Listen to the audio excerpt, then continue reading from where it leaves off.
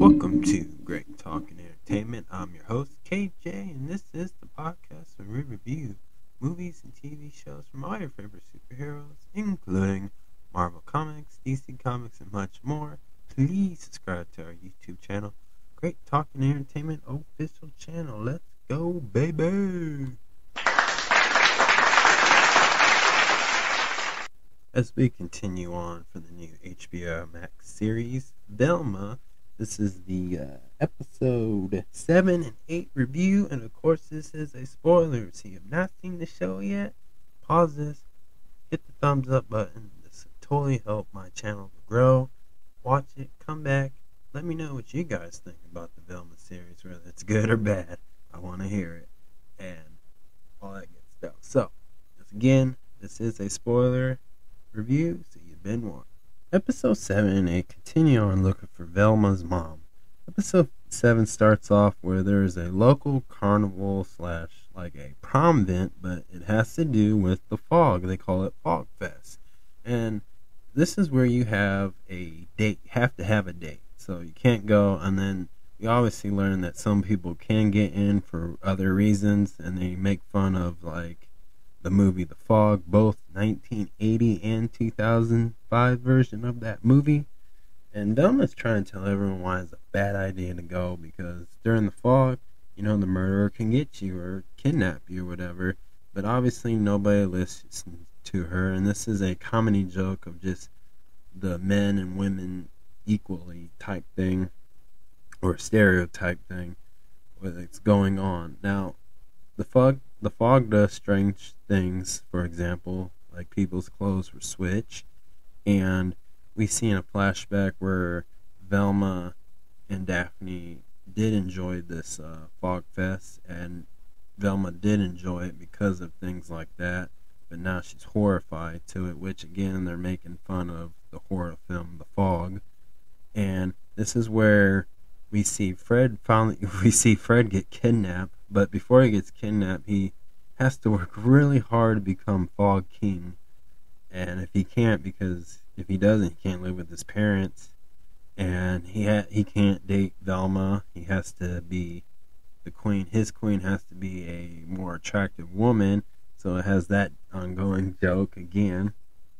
And then we see that Velma dresses up like a man. Obviously, now people start thinking that her as a man is cool. They don't know that it's Velma, but every time he or Velma dresses up as a man and says the exact same thing, why they should not be out in the fog fest because there's a killer out. They actually listen to her, but everybody figures out it's Velma after Fred exposes her, so he can just become Fog King. And then at the end of that episode, we see Fred get kidnapped and when we get to episode 8, we finally see Velma's mom. And Shaggy and Gigi got back together, and then this is where we learn that Gigi's parents has a cabinet at the same location where the quote unquote the killer's hideout is at. And we see that Velma, Shaggy, Daphne, and Gigi are like stuck or pinned by a rock. And Fred is kidnapped, where he wakes up where the killer is located at, where the brains are like talking brains, but not like mouth moving brains, but the way that from the last two episodes they figure out that Velma's mom and Shaggy's um, grandma wanted to figure out how to transfer brains and the conscious to other bodies and stuff. So there's still that. And what what they showed is that, you know, there's Velma. They still showing the relationship between Velma and Shaggy, where Shaggy still has feelings for her, and Velma is still jealous, gets jealous when Gigi tries to take him away. She doesn't realize it because she has feelings for Velma, and it just seems like Velma has a lot of feelings for a lot of people between those two and we when we see that uh, all the, the whole gang saves Fred from uh, the killer we discover Velma's mom, and she has an all white van that is looks just looks like the the Scooby Doo van, and obviously they got stuck. They didn't make it, but they survived some way somehow, just because of they made a racial jokes about how they came to save Fred, but not Velma and Shaggy, and, and yeah, but it, it was all fun and jokes. And again, this is such a funny show. I enjoy it. So uh, let's just get into some topics. So uh, Velma and Daphne relationship. So from seven to eight, we see that Velma is very controlling, and her and Daphne do have a thing for each other. And I guess since kindergarten, and they always had the googly eyes for each other, which is fine, which is funny. And but they all seem to have different reasons why not to date each other. For Daphne, it's just she's popular, and I guess in not guess, but in episode seven we learned that, or episode eight, I'm sorry, that Velma or not Velma, but Daphne was uh, stalking Olivia and wanted to see if she liked her. So she learned how to hack phones, which we see in this episodes that they hacked the killer's phone, which the code number was one two three four, and they made a joke of like, "Geez, this is my grandma." Like, it was a simple code.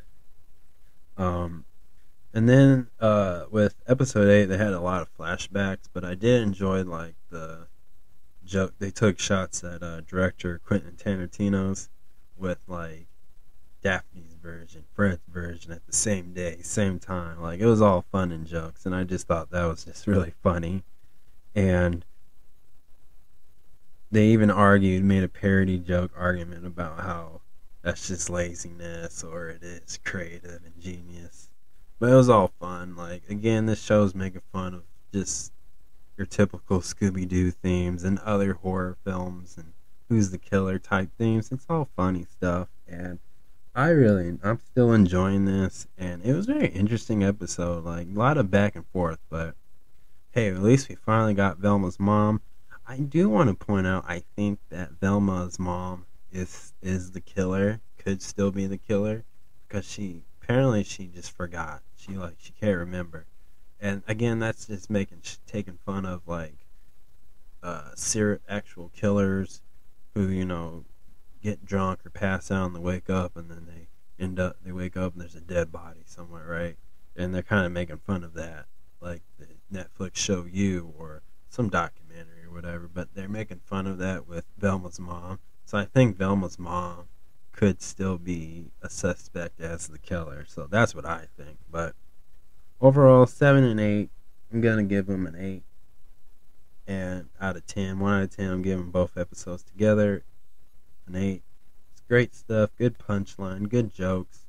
Uh, really enjoying this, and I can't wait to see more. But overall, I really like how it's been going. I know there's a lot of negativities to this show, but they do have a lot of funny moments in these shows, so I, I wouldn't give up on this, people. But that's my review. Uh, please subscribe to my YouTube channel, Great Talk and Entertainment Official Channel. Please subscribe, hit that notification button always be updated with all my latest content. Thank you and peace.